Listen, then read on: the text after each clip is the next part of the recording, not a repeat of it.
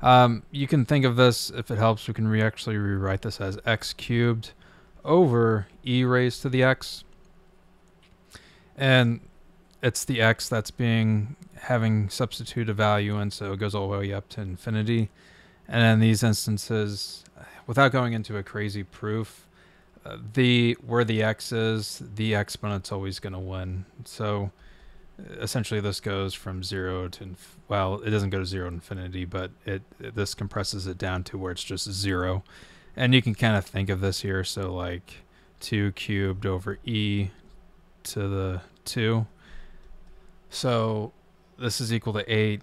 E is 2.718, which would make this roughly about 8. But when we start to get into something like 2 raised to the 100 and e raised to the 100, you know, this is a large, e raised to the 100, excuse me. This is 100 cubed. So it's still a fairly large number, but e raised to the 100 is a massive number.